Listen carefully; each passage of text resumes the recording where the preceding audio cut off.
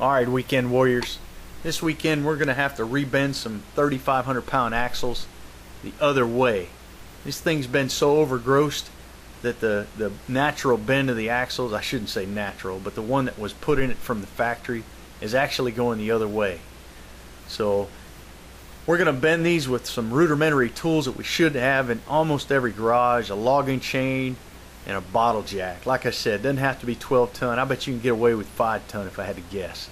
But to concentrate that much power and bending metal, it's just amazing. I mean, when you talk 12 ton, most people are like, I don't, I can't even carry that in my truck. My truck doesn't even weigh that much. So here we are, have some trailer axles on.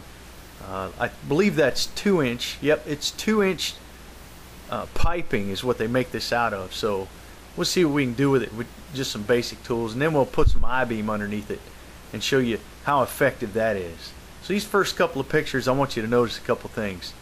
You see the silver on that hydraulic ram. It's really taking up a lot of slack, and they, it didn't even bend in the metal yet.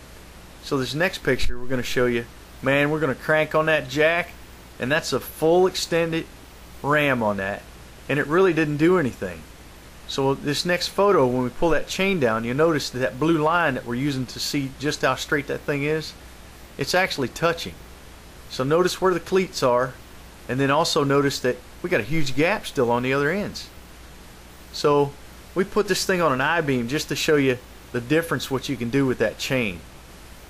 And so also notice this, just how much silver is showing on this thing when it's jacked up and the chains are taut. Now the blue line still on this, it still shows that there's no bend. We're going to get an accurate measurement on this from the I-beam to the top. First time we jacked it up, got about uh, an inch and 5 eighths. There it is in full motion. It kind of looks ugly, right? Oh man, I hope I didn't bend it too far. Watch this. We'll back that jack off and show you that we barely got an, a half inch bend on that. So next time we go for two inches, not that much difference, and see what we get. There it is full. Man, that really looks bad. So we pull that thing down. Notice that we got about 23, 30 seconds of an inch change, and we're happy with that. So we'll swap these axles out. Look at how a one-man job does this. You don't have to have two men to do this. Just use your jack stands, put your bottle jack in, put your chains on both sides, get your tape measure in place, start taking photos. Because we're bending metal, and not everybody can do that. But you can. So here we go. We know two inches worked on the last one. We're going to bend this one two inches. We're going to let it down and sure enough, it bends to the same exact measurement. So there it is in full view. We're going to pull this thing down, flip it over. Notice the cleats are on the bottom this time. And that's where we want our bend is to go up because these are hanging on the inside or the tops of the springs. There's the final measurement. Looks like about 5 eighths of an inch and we're happy with that. We're gonna we're gonna press on.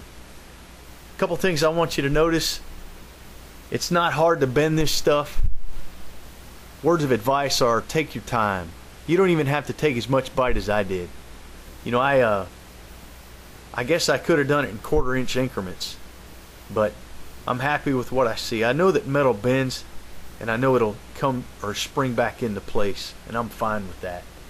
So big thing is is don't get crazy with it and you'll be satisfied with the outcome. Hope this helps you. Two ways to bend axles and keep on doing that that mad stuff in your garage because then people will talk about it.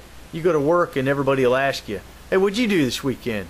Either I made stuff with fire and metal or this week I bent metal with a 12 ton bottle jack